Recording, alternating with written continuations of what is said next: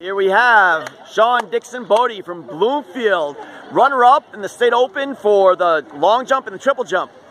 Um, last week, Sean, you won all three jumps. Yes, sir. What did that feel like to, to win all three jumps like that in a quality competition? It was exciting because I knew I put up some really good amount of points for my team to win the state to class S state championships.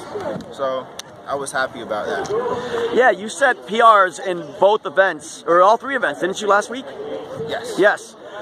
What what brought you those PRs? Like how'd you how'd you get fired up so much? oh, I always like to get the crowd involved, so that like usually just makes my heart race, and I just gotta go for it. So, but high jump, I just did it for the team. Well, wasn't that like a six, like six a six? Yeah, so it was like a four inch PR for you. Yeah. Yeah.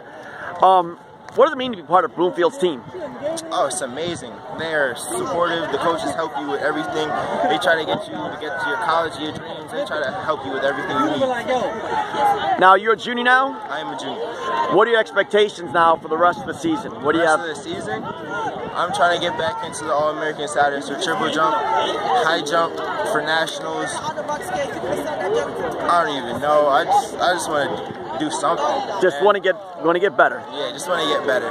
And uh, for I didn't qualify for long jump for nationals, but Yet. yet. Yeah. What do you have to qualify for nationals? 22.9, but I'm trying to go for 23, four and a half. Now indoors, you really surprised a lot of people, and you end up getting All American and triple jump. Yes, sir.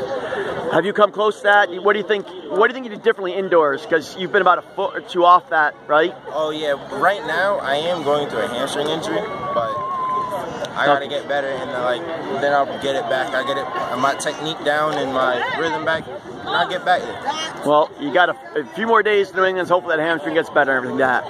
Hey, wishing you the best of luck here. Sean, good luck, and we'll be talking to you soon. Thank you.